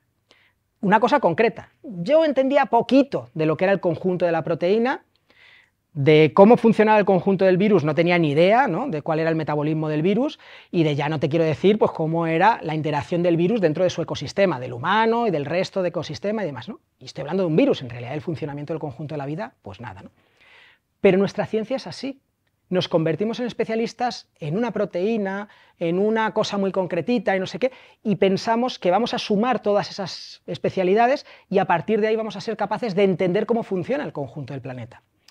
Y no quiero decir que esto no nos ayude a entenderlo, ¿eh? no, no, estoy desprestigiando esto como mecanismo de conocimiento, lo que estoy diciendo es que tiene límites, porque claramente el todo es mucho más que la suma de las partes, es distinto. Aparecen unas propiedades emergentes, que esto es una de las características de los sistemas complejos, que hacen pues, que no se pueda explicar ese todo. Esa sería la parte pues, como más que tiene que ver con esa parte reduccionista. La parte mecanicista lo que tiene que ver es con esta mirada muy, como muy de Descartes, ¿no? que es uno de los padres ¿no? del, sistema científico, de entender el mundo como si fuese una gran máquina, un sistema de engranajes ¿no? que va funcionando pues, de una forma u otra. Pero nuestro cuerpo no es un sistema de engranajes. Nuestro cuerpo es una cosa orgánica en la cual el nivel de complejidad está varios órdenes de magnitud por encima ¿no? de cómo funciona toda esta historia. ¿no? Entender la vida, y claramente necesitamos ciencias que entiendan la vida porque es lo que sostiene nuestra existencia, ¿no? pues nos tiene que plantear un orden pues, mucho más orgánico, de otro tipo. ¿no? Y por último, muchas veces cuando pensamos, pues, y esto es muy típico también del, método científico, es aíslo las variables, ¿no? Y digo, bueno, pues si hago esto, ocurre esta otra historia, y si hago esto otro, ocurre esta otra historia, y si hago esto otro, ocurre esta otra historia, ¿no?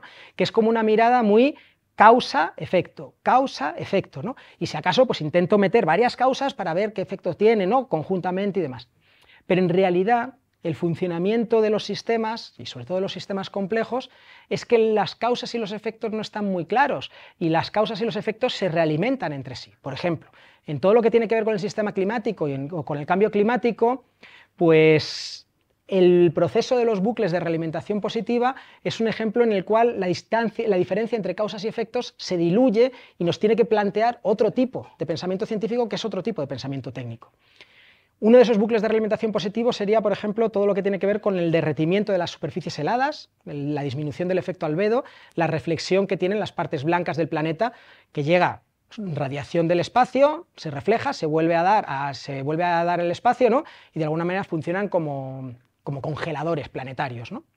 En la medida que aumenta la temperatura, esa superficie que era blanca se derrite, se convierte en azul si estaba en el mar, o en marrón si estaba sobre rocas, y lo que antes reflejaba mucho la radiación solar empieza a aumentar su absorción.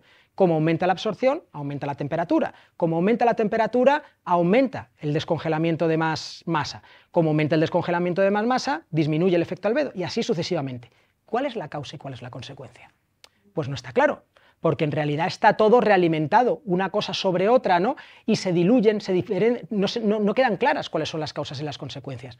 Y esto que ahí está de forma mucho más simplificada, ¿no? Sería de alguna manera esa mirada indeterminista en la cual pues mezclamos desde una perspectiva compleja un montón de factores. He cogido un ejemplo, pero en realidad esto es mucho más complicado, ¿no? No sé si lo explico ahora mejor. ¿Sí? ¿Seguimos? Bueno, pues quería poner eh, algún ejemplo ¿no? sobre esto de los límites ¿no? de la ciencia y la tecnología, porque probablemente una de las cosas sobre las que nos han comentado mucho, y por seguir con el hilo de la energía, ¿no? es que la técnica nuclear va a ser pues, la que nos va a venir a salvar pues, una parte importante de los problemas energéticos que tenemos, que qué duda cabe que tenemos problemas energéticos de primer orden. ¿no? Por una parte está todo lo que tiene que ver con las técnicas de fisión nuclear, átomos grandes de, uranio, los bombardeo, los separo en átomos más pequeños, ¿no? Y esto tiene toda una serie de problemáticas que no voy a entrar ahora en ellos, ¿no? pero que nos hablan de límites, ¿no? de poder hacerlo. ¿no? Pues problemáticas, por ejemplo, con los límites de disponibilidad de uranio, problemas para construir un montón de centrales nucleares, problemas con los residuos radiactivos, hablan de límites y demás. no voy a entrar ahora en ello, porque la otra gran técnica nuclear que se nos plantea es la de fusión. Y la de fusión es lo que se produce en el Sol, átomos pequeños de hidrógeno que fusionan en átomos más grandes pues de helio, y esto genera una cantidad de energía brutal. Y sobre esto se lleva investigando una barbaridad. Yo estudié químicas y cuando yo estudié, que os podéis imaginar que fue hace unos años ya por mi cabeza, ¿no? que como tengo el pelo, pues había como un chiste, pues estábamos al lado de la facultad de químicas y había un chiste que decía que era había una nueva constante cosmológica y era el tiempo que faltaba para que hubiese un reactor de fusión nuclear pues, disponible, ¿no? y que siempre era el mismo tiempo. Daba igual cuando hicieses la pregunta que siempre eran 30 años, que en 30 años habría un reactor de nuclear de fusión ¿no? que estaría disponible, ¿no? y bueno, pues esto que era un chiste, ¿no? en realidad tiene unas bases de realidad potentes. Lo que veis ahí es un recorte de periódico de los años 80 que venía a plantear que en 30 años íbamos a tener pues, una energía de fusión que sea posible y demás, que justo lo que nos están planteando ahora, que en 30 años vamos a tener un reactor de fusión en frío, ¿no? Sobre lo que se lleva investigando una barbaridad, con muchísimo dinero, con muchas capacidades. Es posible que en algún momento ocurra esto, es posible, pero también es posible que esto no llegue a ocurrir nunca jamás.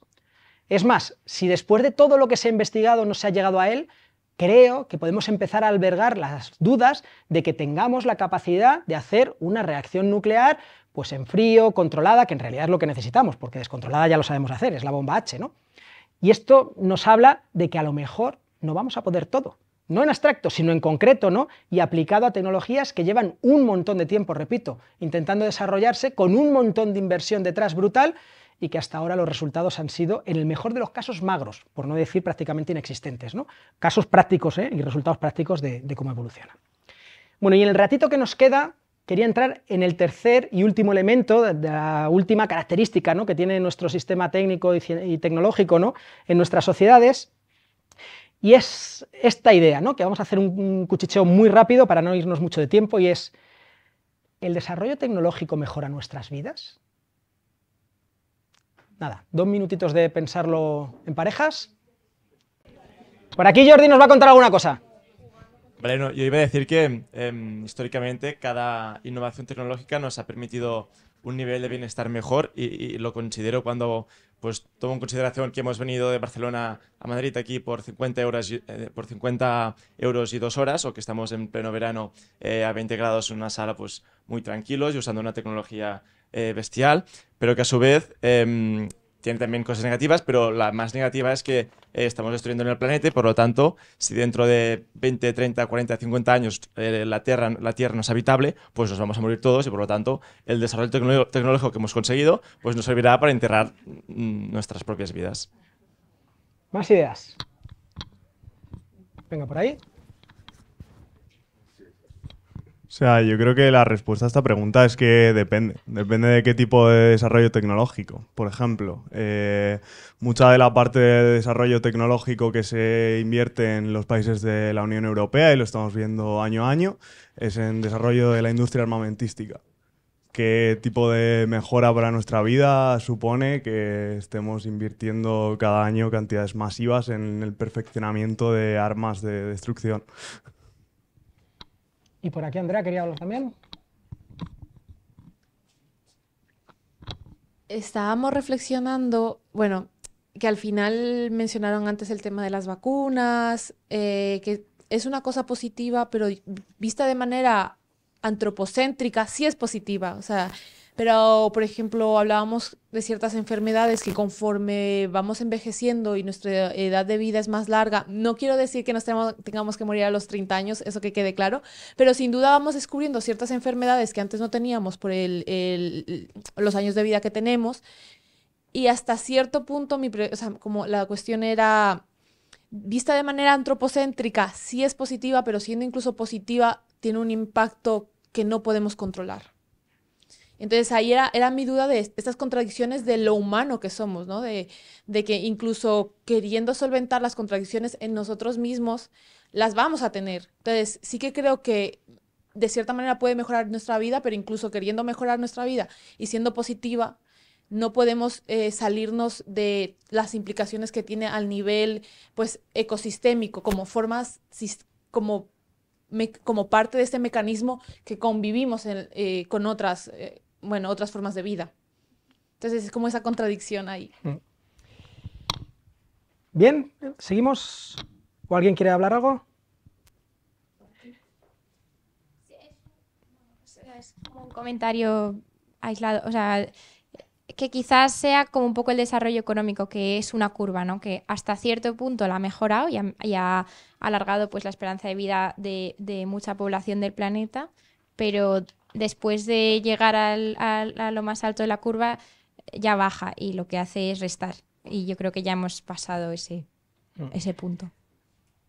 Hay un autor que trabaja mucho con esa idea, que es Joseph Tainter, que no voy a entrar ahora, ¿no? Y habla de la complejidad y esas curvas de complejidad a nivel sociales y demás, pero bueno, por si queréis rastrearle, ¿no? Y que a mí me parece como un tipo muy sugerente, ¿no? Con esta historia.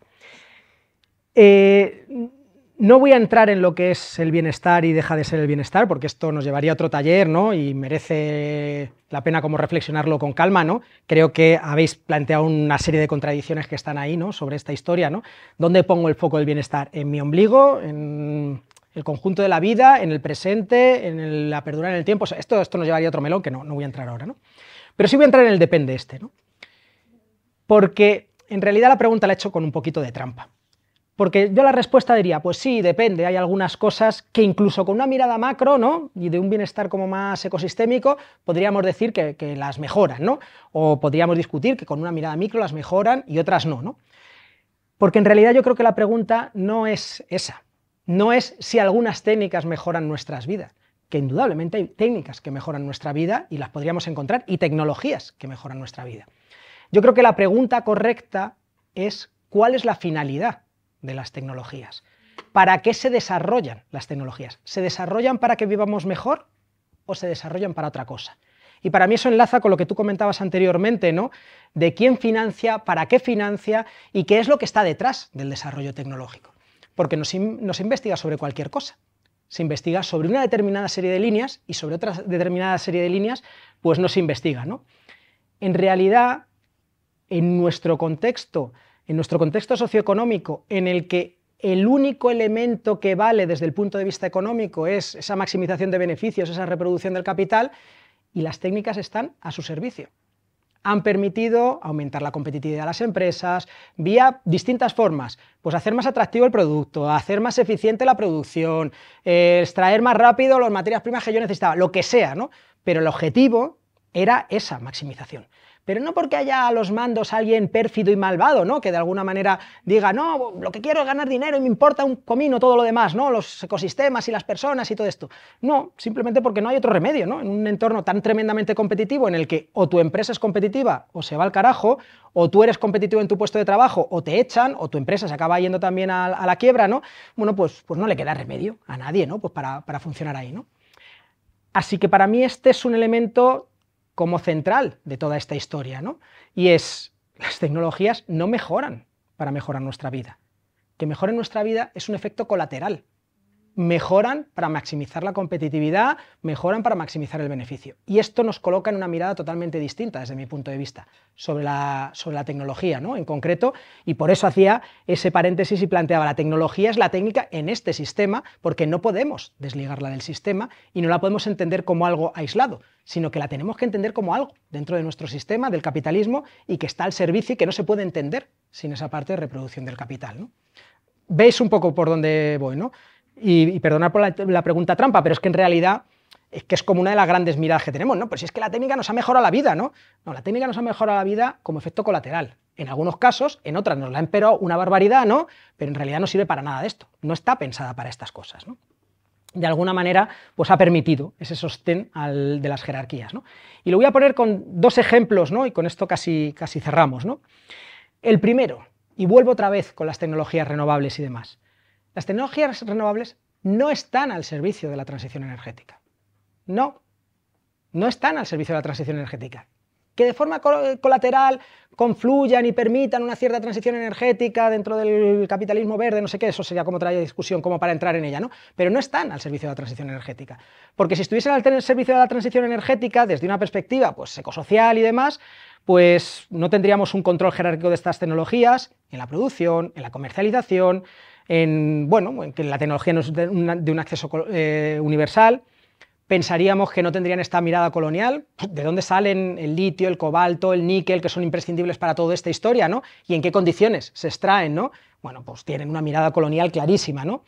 No estarían pensadas en una mercantilización, en realidad estamos pensando en producir energías renovables para mercantilizarlas, para venderlas y para sacar beneficio con todas ellas, ¿no? No estamos pensando en otra cosa diferente, ¿no? O no estaríamos viendo como ahora mismo hay una expansión de las renovables que se parece tanto, tanto, tanto que diría que es una burbuja y que tiene que ver pues, con conseguir los máximos beneficios ahora en renovables y mañana pues en otra cosa en la que surja, porque estamos en ese entorno. ¿no?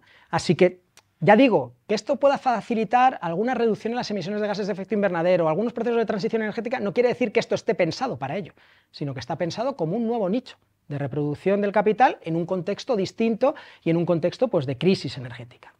Y el segundo ejemplo que os quería poner es el de las nucleares, ¿no? porque muchas veces cuando pensamos en todo esto de la ciencia decimos, bueno, pero es que hay una cosa, que es la investigación básica, ¿no?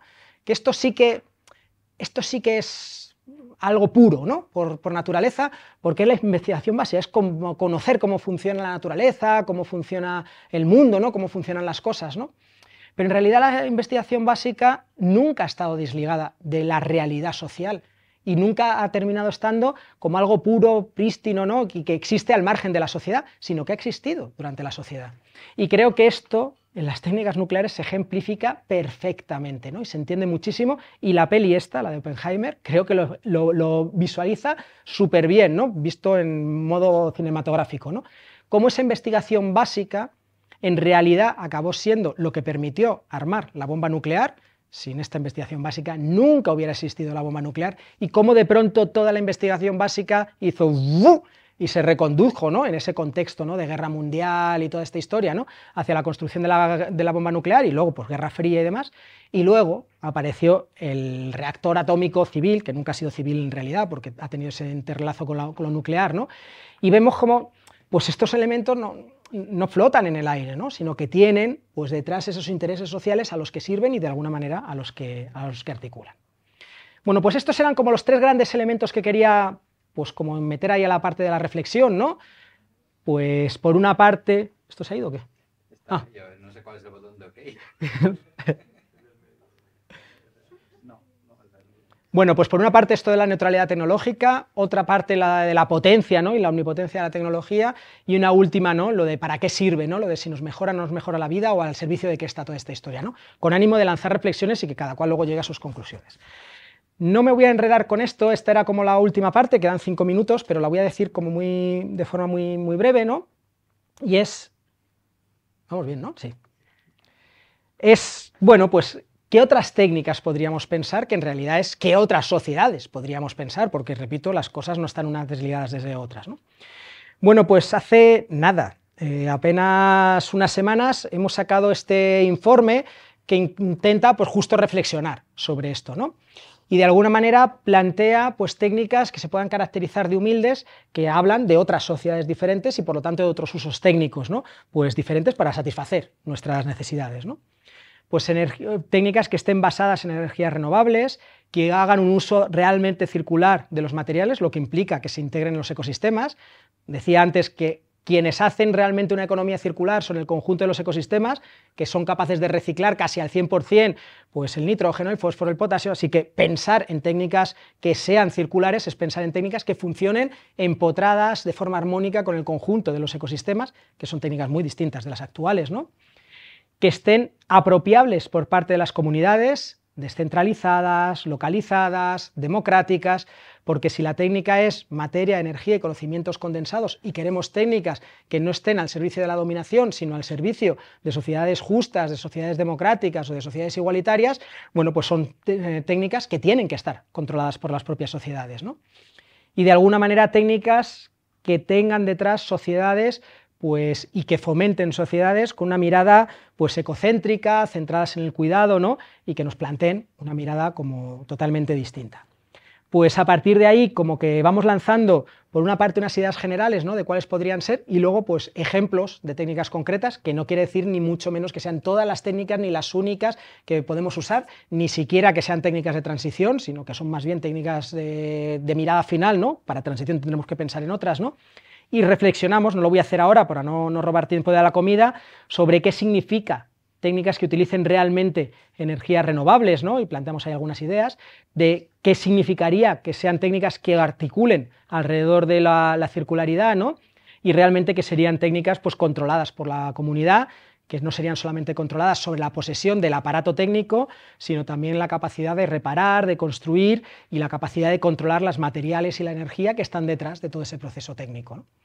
Así que con esto lo dejo, hemos llegado justo a la hora, pero nos quedarían, bueno, faltan dos minutillos y al parecer nos podemos pasar un pelín, ¿no? Pues si queréis alguna otra intervención, tanto de duda como de réplica, o sea que yo sé que lo que he dicho es muy polémico a nivel social, ¿no? Así que si queréis plantear otras visiones distintas, pues, pues muy bienvenidas, aprenderemos mucho más todo el mundo, o sea que... Em, ¿Me podrías dar una intuición de en qué políticas públicas concretas em, se materializarían em, las críticas que has hecho? Es decir, ¿deberíamos, por ejemplo, eh, prohibir el uso de la inteligencia artificial? Eh, ¿Deberíamos, no sé, cómo lo implementarías a nivel de políticas públicas? Eh, bueno, si hay más, juntamos, lo digo por no, hacerlo como muy en estrella, pero yo ah, voy a entrar, no, no me voy a escaquear. ¿No hay? Venga, pues voy le doy con este. Bueno, volviendo a la idea de que de cambiar los usos técnicos es cambiar las sociedades y para cambiar los usos técnicos tenemos que cambiar las sociedades, esta doble mirada desde el principio, ¿no? Pues pensaría en elementos que me transformen en elementos básicos del funcionamiento de nuestra sociedad, de la sociedad capitalista, y que a partir de ahí me abran abanicos técnicos diferentes. Y lo voy a, aterrizar. ¿no? Decía antes, ¿no? que no hay como una mente maquiavélica, ¿no? que diga, voy a cargarme el planeta ¿no? y voy a utilizar estas tecnologías ¿no? que sé que están siendo dañinas ¿no? y que esquilman pues, los recursos que tenemos y destrozan la biosfera y demás, ¿no? sino que más bien es un funcionamiento automático de nuestro sistema en el que, pues como hemos perdido nuestra autonomía económica, como no somos capaces de satisfacer nuestra alimentación, nuestras necesidades energéticas, nuestros cuidados, ¿no? pues sin recurrir al mercado, porque tenemos que comprar bienes y servicios que nos permitan tener alimentos, tener energía, pues tener medicamentos para los cuidados, toda una serie de elementos, ¿no? Y como para comprarlas en el mercado necesitamos dinero, pues no nos queda otro remedio que encontrar un empleo, que vender nuestra fuerza de trabajo pues para, para poder articular todo esto, ¿no? Y a partir de ahí está todo vendido, porque si yo dependo de mi empleo para conseguir el dinero, para satisfacer mis necesidades, ya me preocuparé muy mucho de no perder ese empleo y de que mi empresa sea competitiva, porque si tengo que escoger entre mis habichuelas y, la sostenibilidad, pues ¿qué voy a escoger? Las habichuelas, ¿no? Pues porque esto lo vamos a hacer todo el mundo, ¿no? Así que o rompemos ese círculo o no hay posibilidad de articular nada. Y romper ese círculo es volver al principio, y es si hemos perdido la autonomía económica, recuperemos la autonomía económica para satisfacer nuestras necesidades. Esto no lo podemos hacer de manera individual, necesitamos hacerlo de manera colectiva, tenemos que juntarnos con otra gente y esto cambia nuestras técnicas.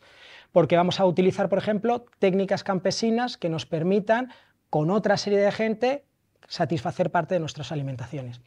Porque vamos a tener que utilizar técnicas como, por ejemplo, el cortado de las suertes de leña, que nos permite tener una parte de nuestro consumo energético pues, que vamos a necesitar pues, para cocinar o para calentarnos en invierno. Esto va a requerir otra serie de pensar en cómo garantizamos nuestra, nuestra salud, ¿no? pues pensando en técnicas de salud comunitaria, de otro tipo de cosas, pues que no dependan de estos grandes entramados farmacológicos, lo cual no quiere decir que no, que no podamos mantener algunas de estas medicinas y demás, ¿no? pero, pero que requiere repensarlo todo. Así que si tuviese que escoger una política pública, por no irme de la pregunta, ¿no? plantearía políticas públicas en las cuales las personas recuperasen su autonomía, que significa poner huertos de barrio productivos en todos los lugares, composteras en todos los espacios, eh, espacios de crianza colaborativa entre las familias en todos los barrios. Bueno, todo este tipo de cosas que nos permiten construir autonomía y que a partir de ahí nos van a hacer repensar y rearticular nuestras técnicas.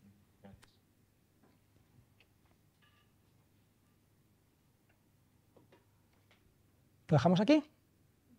Pues nada, muchas gracias y...